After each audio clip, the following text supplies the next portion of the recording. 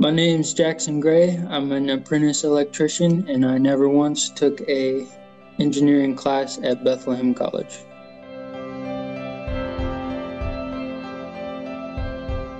At BCS, you learn how to solve problems um, in the best way possible, in the most logical way possible, and in a joyful manner.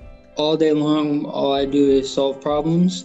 And though they are different problems than what I studied at Bethlehem College, I still have to learn. I still have to gather information to figure out what's going wrong and how to fix it.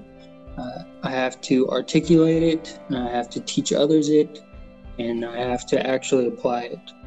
The way I've explained it to people is I didn't go to Bethlehem to get a degree in a specific field so that I could work in that field.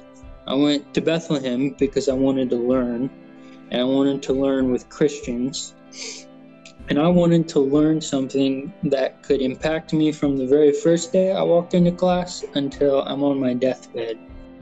Bethlehem impacted every part of my life. I would say there's there's never been a day where I was like, man, that was that was wasted time.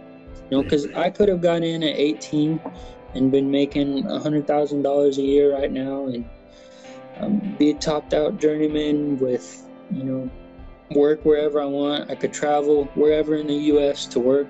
I could just be the the top of the top right now, but I wouldn't have had Bethlehem. I wouldn't have had my wife or my kids yet, and I wouldn't have had the love um, and hunger, not only for Christ's word, but Christ's world that Bethlehem helped me cultivate.